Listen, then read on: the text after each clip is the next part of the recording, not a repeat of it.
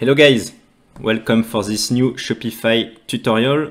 So today we will have a look at how to connect your Shopify store with your analytics account. So analytics will help you to analyze what's going on on your website, so the behavior of your users, to analyze your acquisitions and your conversions. And we will see how to connect in five easy steps your analytics account with your Shopify store. But first, let's have a quick break. Mm. Let's start. So we'll have we'll have two windows open at the same time. So the first one, so your Shopify store back office and then your analytics account. So first you need to create a new analytics account. So with your Google account or your Gmail account. So you will have this first page. So you will give your account name. So then you will choose to analyze your website. And so then you will give the, the URL of your online shop and then you will give the category and your time zone and just click on create your property. And then so we are ready to configure. So the first step, so it's with the tracking ID. So here we'll just copy paste the tracking ID and go on your Shopify store administration, go on preferences. So on your left, just scroll a bit and you will just copy paste at this place your Google Analytics ID just then save and then you will select the enhanced e-commerce setting and save again. And that's it for the first step. So then the second step so we'll just so we'll configure the view. So here you will go on view settings. So here you should have the right urls for your domain name. Then you will choose the currency you will have on your website.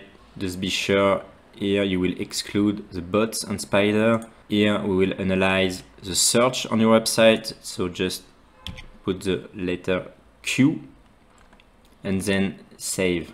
So then second step, so we'll uh, configure the e-commerce settings. So just right below here, so we'll click on it and we'll just activate the e-commerce setting on analytics. So to be able to track all statistic about your sales on your website. So we'll activate both. And so here we'll just configure the steps we will have on your website. So it's basically quite simple. We have three steps. So the first one about the contact information. The second one about the shipping method. And the third one about the payment method. So I will do a new video about how to analyze these steps on your analytics account. So then save. Okay, now third steps. So then it depends really if you are working at home or at your office. So purpose is just to exclude some traffic from IP address. So to have more accurate statistic here you will go on filters and add filter and you will just ex exclude IP address traffic.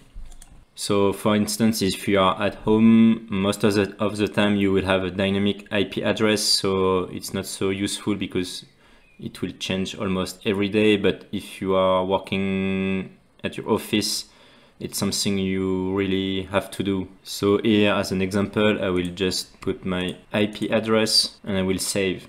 Let's move forward and with one of the most important configuration, it's the creation of our goal to analyze each step of the customer journey of our customers. So it's one of the most important configuration to do with your analytics. So it will help you to understand at which step of your website your customers live And so then with this analysis, you could uh, do some modification on the website and to understand more what's going on. Okay, so you will click on new goal. So here we'll start with a template. So buy merchandise. So here we can just rename create, create an order. So the type is a destination.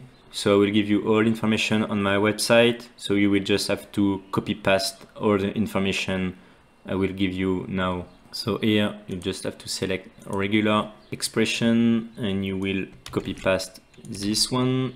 Just check you have no space. And then so we'll start to, to configure the funnel. So the first one, it's the home page. So then the collection pages.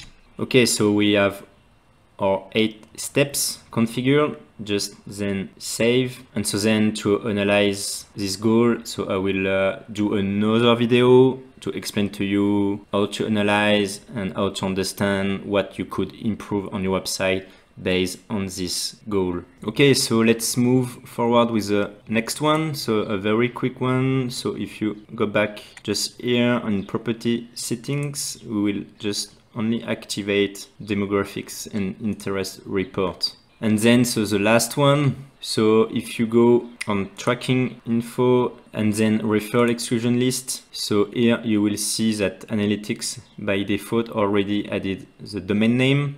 And so here we'll uh, also add the shopify.com domain name. And if you are using PayPal, we'll also add PayPal domain name.